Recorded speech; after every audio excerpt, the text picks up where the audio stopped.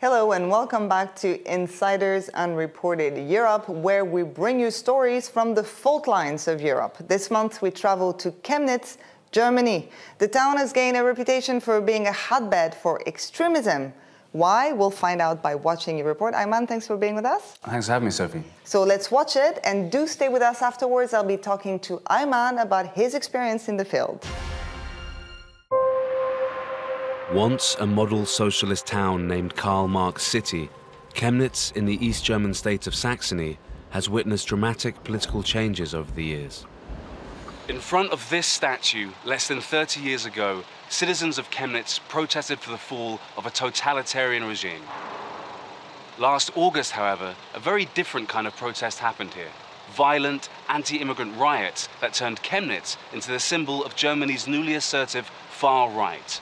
It started here when a German man was stabbed to death. The alleged killers? Two refugees from Iraq and Syria.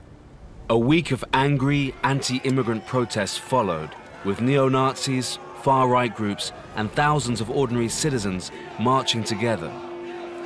The protests stand as a watershed moment in the outpouring of anti immigrant hatred that has swelled as Germany's far right grows bolder and stronger following the 2015 migrant crisis.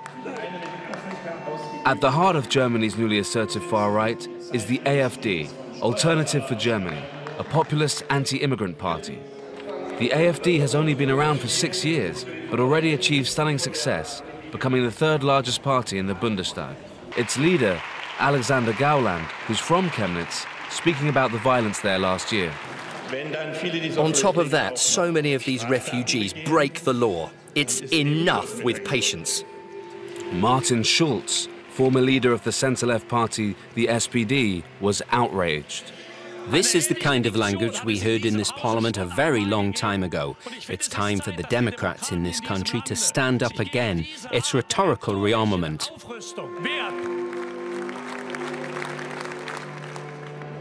We joined the AFD at a rally in Chemnitz. They are campaigning for the European elections. We spoke to their candidate, Maximilian Krah. The AFD has been incredibly successful in just six years. Yes. Do you think part of that success, or a big part of that success, is because of the migration crisis in 2015? Obviously. Obviously. I mean, it, it would be a lie to deny it. The, Germany was, was a kind of a peaceful place outside of all troubles we have globally. And then Merkel decided to, to, to open the country and to let in almost a little bit less than one million, mostly uh, Muslim, most, mostly uh, masculine immigrants in one year, and that has changed the country. And uh, we are the only political force that is in opposition towards that mass migration. Uh, but we know from the polls that, that almost 50% of the population is against that mass immigration. So obviously it, it was a boom. The AFD's anti-immigration platform resonates deeply with German voters opposed to Chancellor Angela Merkel's welcoming policy towards refugees. It's exactly this kind of scum who are thrown out of their countries that arrive here. And these parasites are feasting at my expense.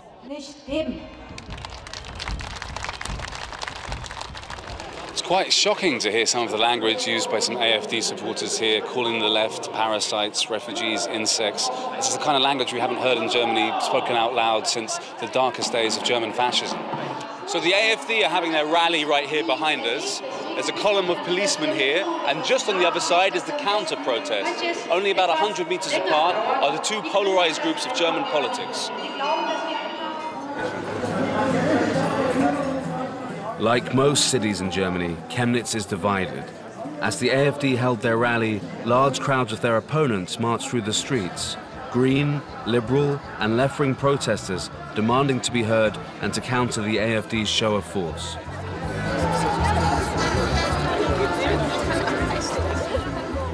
How do you feel about the rise of nationalist parties like the AFD in your town?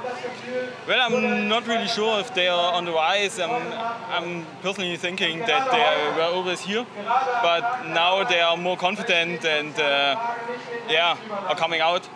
and, and claiming uh, that they control the town, and that's simply not true.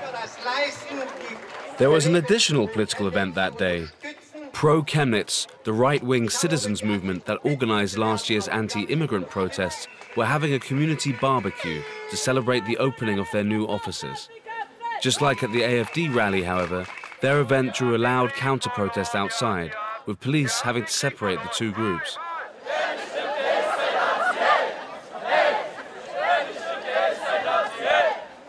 That's quite a welcome you have outside.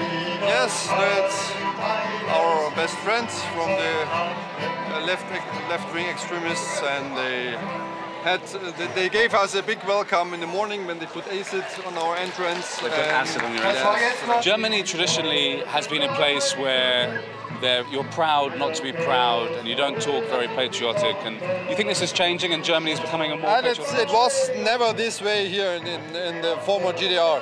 It has its, its roots uh, in the re-education after the war, because uh, the, in the West they were they were told or taught by the Americans in, in English that uh, the, the German thinking, German kind of living and thinking led to the crimes of National Socialism. And here we had the Russians, and they told us, oh, the, the capitalism was the bad thing that leads to fascism. Uh, so we were not educated this way that being German is a big problem. Historically, East Germany was a far more homogenous society than the West, and notably missing amongst all the sausages, beer, and folk songs at the barbecue were foreign faces.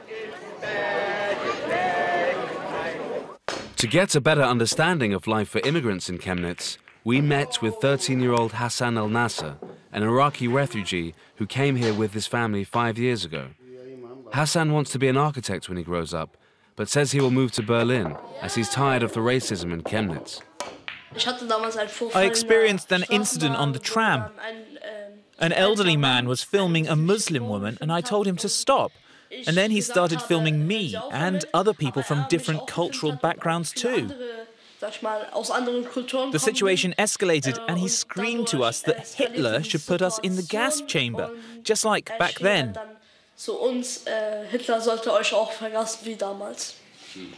Hassan is not the only one struggling with prejudice in Chemnitz. Libyan refugee Leila Ahmed says she experiences a racist incident nearly every week. I've lost five years. The main reason I came here was for safety and as a woman with a child, but I don't feel safe at all. We face the same situation as we faced in Libya, and even more. I left Libya because I was struggling psychologically and I was scared for my son, but I found the same in Germany. my feeling about Libya is that at least it's my country, regardless of the situation. There was some kind of respect for people as human beings. Here you are a stranger. I left and sacrificed everything, took a dangerous journey to keep my son safe. So the most basic right for me is when I'm walking down the street with my hijab. I'm scared that someone will hit me. I tell my son not to speak to people. Germany has registered over 1.2 million asylum seekers since 2015. Chemnitz, however, has a relatively small foreign-born population, only 8%. Yet rates of hate crimes against immigrants are higher here than in the rest of the country. We meet Andre Löscher, a social worker with an NGO that helps victims of racist violence. So in whole Saxony we have uh, 317 attacks. Um, from that, uh, nearly 80 uh, attacks have been here in Chemnitz. Okay. And that's an increase from the year before? Uh, it's increased about 40% from the year before in whole Saxony. And in wow. Chemnitz, uh, it's about 400%. We ask why he thinks anti immigrant attitudes are hardening in Saxony. Ganz wichtiger Punkt, dass äh, der Anstieg one important point is that the rise of migration in Germany moved the whole public debate towards the right. So the AFD took advantage of this, and besides that, they don't have much more to offer. This is their main topic that people are focusing on Simmering anger about migration is turning into real violence in Chemnitz. We're meeting Masoud Hashemi, a political refugee from Iran who has a Persian restaurant here. Last October, three men dressed in black stormed the building. One man made this salute and said, Heil Hitler, and said it very loudly. And immediately he started to smash stuff. And he threw a samovar into my face. And when I moved away, I went into the kitchen. And then he destroyed the kitchen. And this man came and beat me. He kicked my stomach, and I fell down to the ground. And my head was injured, and a lot of blood came out.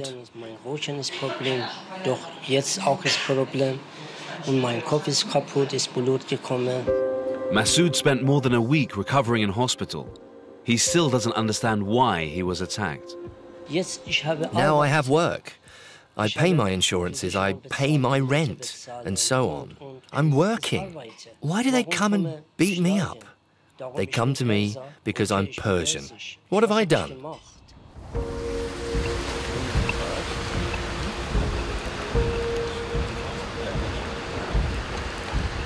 It's not just immigrants who are the victims of far right hate crimes. Last year, outside Chemnitz, a 27 year old man was tortured to death for being homosexual. And a really worrying sign of Germany's dark past rising up again, anti Semitism is on the increase. Shalom, a kosher restaurant, opened here in 2000. Its owner, Uwe Dziuballa, whose family survived the Holocaust, says that the place has been a target of anti Semitic attacks. We asked whether the anti Semitism of today could be compared to the 1930s. The economy was much more fragile. The breeding ground for nationalist thinking, in my opinion, was much more fertile. While today, compared to 1933, we have the opportunity of globalization and due to this, there is a positive critical mass who are able to show democratic strength.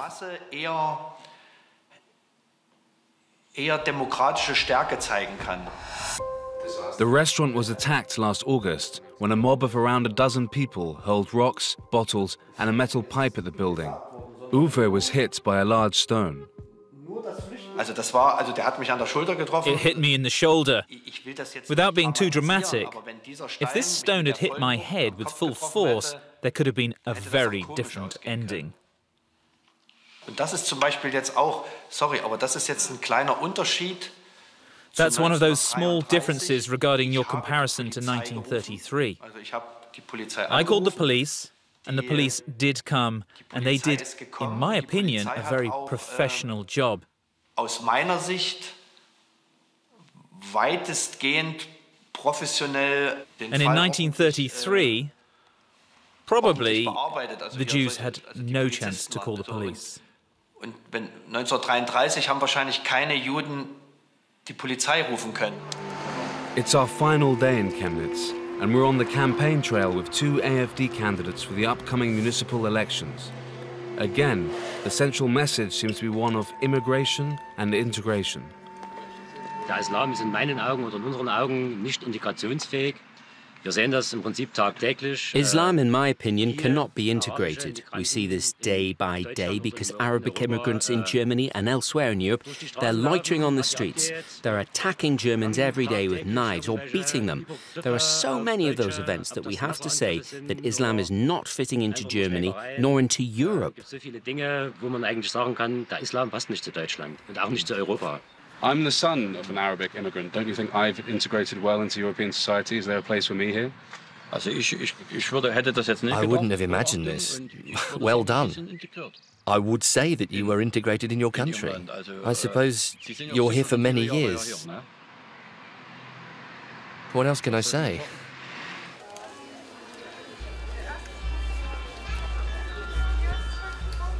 We're at Chemnitz's central market doing a very unscientific poll about where people stand politically. I will vote for the AFD because there's no other alternative for me. Because the old parties, all of them, left us alone and forgot us. The AFD's the worst party here. They don't have a heart. Everyone should have his own religion, but everyone who comes to Germany should adapt to the German culture.